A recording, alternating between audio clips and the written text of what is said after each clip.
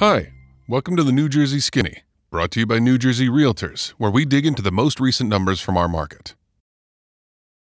The U.S. housing market was in a state of rebalance in the third quarter of 2022, as affordability challenges and economic uncertainty caused market activity to cool during what is typically a very busy time of year.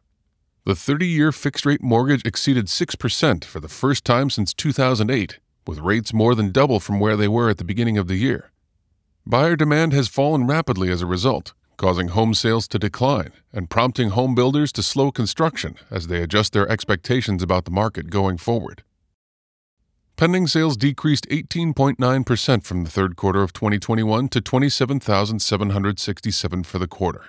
Closed sales decreased 16.5% from the third quarter of 2021 to 30,651 for the quarter.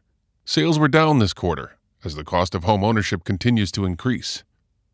The number of homes for sale was down compared to this time last year. Inventory levels market wide decreased 19.6% to 25,876 units. Inventory continues to shrink as current homeowners are hesitant to sell in a market with high home prices and interest rates. Prices were up compared to last year at this time. The median sales price increased 8.4% to $450,000. The prices of homes continue to increase, even as demand appears to be slowing. Month supply of inventory was down 3.4% to 2.8 months, as the continuing lack of inventory is affecting supply. Percent of list price received at sale rose to 102.2% since last year.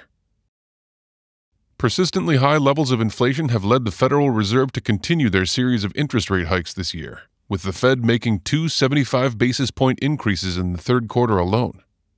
As borrowing costs continue to rise, many buyers and sellers are choosing to wait while the market resets before making their next move. For active buyers, however, some relief may be on the horizon. Falling home sales have helped inventory to improve, while the rise in interest rates is putting downward pressure on home prices. That's the New Jersey Skinny for this quarter. Check back next quarter for the latest.